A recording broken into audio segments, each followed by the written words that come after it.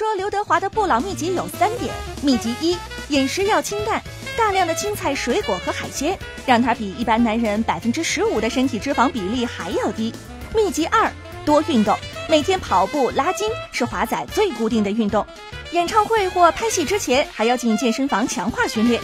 其实刚出道时，华仔曾有过婴儿肥，好在经过锻炼，练出了六块腹肌和傲人的倒三角身材，这也让歌迷们至今还津津乐道。秘籍三：好睡眠。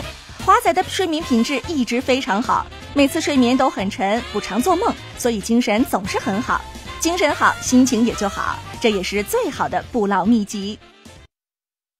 怎么样？饮食清淡，保持锻炼，保障睡眠，这个就是不老秘籍。这些我都是相反的，反正不光这些，大伙儿都知道，吃好早餐也挺重要。嗯，华仔的早餐搭配呢很有规律。那就是每天必有一杯黑咖啡，再搭配一些什么呃菠萝包啊，这个紫米饭团等等食物。嗯，主食是鱼虾，搭配生菜沙拉。对，如果说工作开夜车了，华仔就会补充一点水果跟坚果。不过演唱会期间呢，会另有营养营养师哈，依照他当时的健康体态来开菜单的。难怪刘德华二十年未变，真会保养，我得向您好好学习了。其实我觉得最最重要的就是华仔的意志力超强，绝对不破戒。